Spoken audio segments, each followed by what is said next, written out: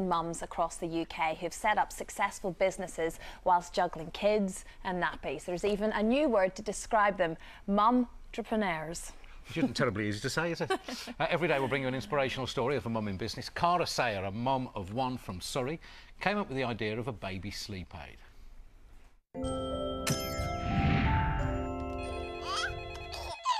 I'm Cara, I'm 38, and I'm mum to one lovely girl, Holly, who's nearly three.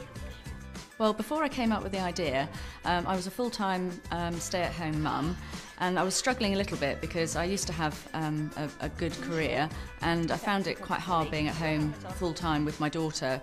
My eureka moment was when I was out walking with Holly and um, I'd covered her over with a coat and then the coat fell off when I hit a curb.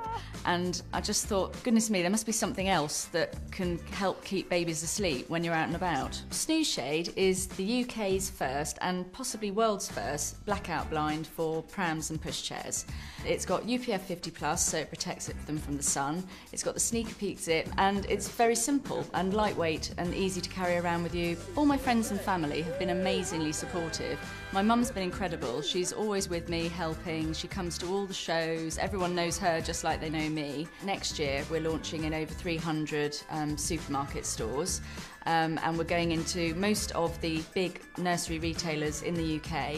It's actually one year ago, exactly this week, that I attended the trade show. And I really cannot believe that I am where I am now. You wasted as a businesswoman. You should be an actress with you in that reconstruction, Cara. but like, congratulations on all your success. You what, has been the most difficult part of it? Um, I think actually um, coping with the demand. Um, and um, it meant that I've had to really um, fast track um, everything along. So I went from literally having a prototype to suddenly having to get it ready for you know distribution into stores. Mm -hmm. So it meant all the safety tests and everything had to be done. I didn't have any packaging, nothing. Um, so uh, that's that's been the most so challenging That's a problem thing. you wouldn't have foreseen, not being no. able to make enough of the things. No. And then you got, I suppose you got the shop screaming at you for more. Well, I had to fly 5,000 of them in, um, and part of that was during the volcanic ash um, situation. So that obviously doubled um, freight costs and things like that because mm -hmm. demand was so huge uh, it was it was a real surprise. So you're talking a proper businesswoman here, freights and everything else. But if you know if you're sitting at home, you do have an idea. Where do you start, or where do you go to, to get yourself started? Well, actually, what I did is I actually talked to other mums in business. Um, so I approached a lot of people who are in the nursery industry, um, and I just sort of rang them and emailed them and said, look, you know, I don't really know what I'm doing. Can you help? And everyone was so helpful. It's a lovely industry to be involved with. Everyone's parents. They've all got children. Most of them have done exactly the same as me, and they've all been where I was. I was. A good idea when they see one. Mm. But what about coping coping with having a child? Did you have any help with Holly? Did you have a nanny, for example? No, no, um, no. I mean, I, I wanted to be a full-time mum. I gave up my career in order to stay at home and have children. Um, and uh, my my mum has just been absolutely amazing. Um, and it hasn't all been easy. I mean, I I did actually have a breakdown in June.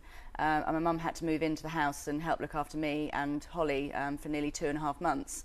Um, so um, just with the stress, with of, the stress of, of everything, I just didn't realise it was going to be so stressful, and I wasn't very good at balancing the whole mm -hmm. uh, mm-hmm. work-life balance. So I think I'd also say to people, if they're thinking of doing it, just sort of try and take it easy and um, you know think big because mm -hmm. you know I think people are afraid, particularly women sometimes, to think big. Exactly. Um, but no, true. think big, but also try and balance your work-life balance. But without your mum, it wouldn't have been possible. Without my mum, it would not be possible. I wouldn't be. I wouldn't be here.